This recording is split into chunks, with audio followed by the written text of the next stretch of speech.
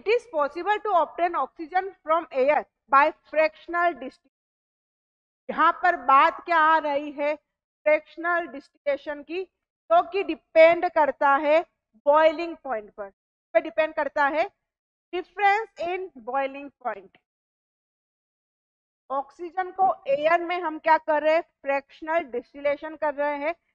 का मतलब हम जनरली बात करें तो एयर मतलब हमारे पास क्या हुआ?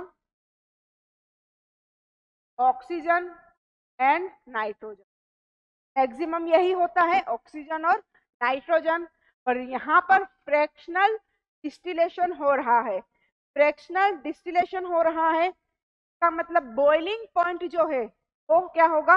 एक गैस का अलग होगा।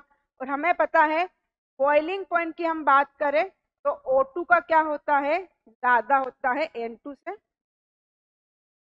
तो O2 को हम क्या करते हैं? अलग सेपरेट कर देंगे और N2 हमारे पास अलग सेपरेट हमें मिल जाएगी। क्या होता है? फ्रैक्शनल ऑप्शन है फ़र्स्ट है। Oxygen is in different group of the periodic table form nitrogen देखो ऑप्शन तो करेक्ट है, लेकिन वो उसको जस्टिफाई नहीं कर रहा।